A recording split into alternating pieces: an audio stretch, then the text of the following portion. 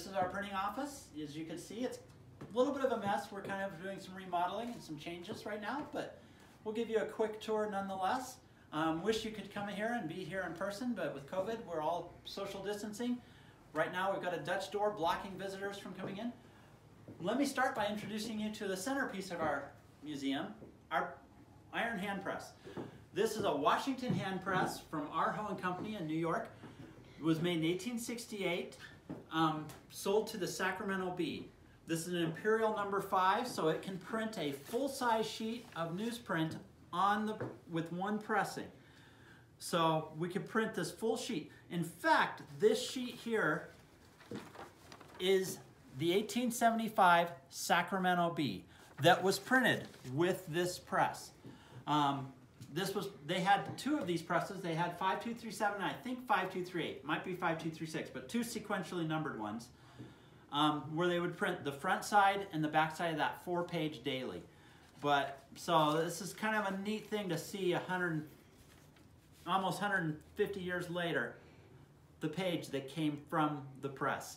Um, we still print with this regularly. We're frequently printing um, posters and Christmas cards and all kinds of stuff with our iron hand press. One of the favorite things at Sharlot Hall Museum is when we do living history and we have our festivals. Um, usually we have all kinds of kids who are in here and they love to pull the handle and pull their own print on the iron hand press. Um, if they're really little kids, I usually have to help them and so we give that handle a push and they just love doing that. Our oldest press and rarest press, this is a Cincinnati Type Foundry nonpareil, made between 1867 and 1873. As far as I know, there are two of these left. If anyone knows of another, I would love to know about it. There's this one, and there's half of one of this at my house. It's missing the flywheel. The treadle is an aftermarket homemade treadle. Both of them are missing the treadle. But I'm going to get that other one working as well. So um, what is really interesting about this press to me is that the way it, it works, this is much like a Colts Armory Universal. Basically, as it closes with the not Cincinnati non-pareil, um, it pivots and closes with a parallel impression. So if you watch, as that closes, you'll see it go straight up and down before it does the last closing. So that parallel impression, that's something that the Colts Armory and Universal prided themselves on, and a lot of people think it's the first press that did that, but this one does it too. So this press does work. We're getting ready to overhaul it and rebuild it, um, repaint it, make it all pretty and shiny. So which brings me to one of our other presses. So this is our 1906 Chandler and Price 8 by um, 8 by 12 um, printing press, old series. This one um, is our workhorse. This is probably what we do most of the work in our printing office if we're not doing poster size stuff on the large hand press. This particular press, some people around the country saw this when they were out in Arizona for the APA conference a few years ago. Sky Shipley rescued it from here in town. An old printer had his mailbox nailed to the feed board and had it sitting out there for a couple of decades rusting away. Sky rescued it from him, took it to his house, sat for Sky's house for several years. Him and I did the full restoration of it. We rebuilt it, and I bought it from him, donated it to the museum, and now it is doing what it should be doing, is printing here local Prescott history yet again. So, definitely a nice press to have in our shop. Um, one of our other presses is, we've got an Excelsior hand press.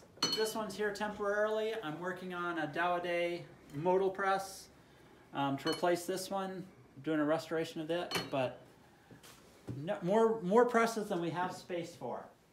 So here you see a 19th century standard open rack newspaper um, workstation. So if you're standing to case and setting type, this is where you were working around the turn of the century, which is our time period. This one's been re restored a little bit. The, someone's built drawers into it, um, which provides us extra storage, which is really useful. But the main thing that I like having this shop, besides the fact that it shows where type was set, is it lets me tell the story of type cases. These aren't drawers, they're not sliders, they're not boxes, these are type cases. And I always make an emphasis to that because this is what people remember when they visit. This is the uppercase. It has a set of regular caps and a set of small caps. 19th century, the uppercase had two sets of capitals. That's what you used. Then your lowercase had your small letters. This is the lowercase. So uppercase and lowercase letters. People around the country know this and don't know why. This is it. This type case lets me, this type cabinet lets me illustrate why we call them uppercase and lowercase letters. It's probably the number one thing people remember from a visit to the print shop. That and minding their P's and Q's. I always ask the kids which is which, P's and Q's. Types upside down and backwards, it's hard to tell. They look at it, they argue about it. Usually one will decide, and then I'll reveal it. No, the nicks were up, so these are actually B's and D's. So, another fun thing we do in the print shop. Let's see, what else can I show you? We've got, you know, just odds and ends, just little bits of stuff here and there. One object that's kind of fun is stashed back here in the corner. And this is my 1895 card trimmer. This is a dandy from the Milton Bradley Company. If you look close, you can see Milton Bradley Company. This is what everybody's favorite board game company patented and came out with. This cutter was patented by Milton Bradley. That's it. When you're using it, when you're playing the games, this is what they started as, as printer's tools. And so that one, I had to get just so I could tell people what the story of it was. Um, got miterers, paper cutters, cornerers, we've got furniture, we've got wood type, So fan favorite in our print shop is our imposing stone. Um, it's actually a gravestone um, that was found in a newspaper office in New York State.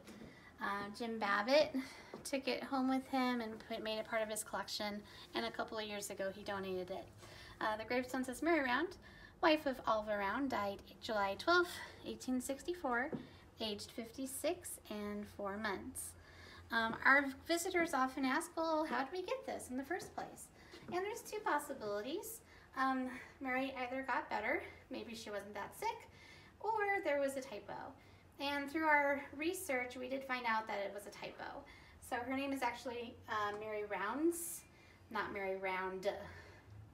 Was missing the S. Just a little fun fact from Sharlot Hall Museum. Um, so what we're working towards, I'll show you here, this is one of our projects.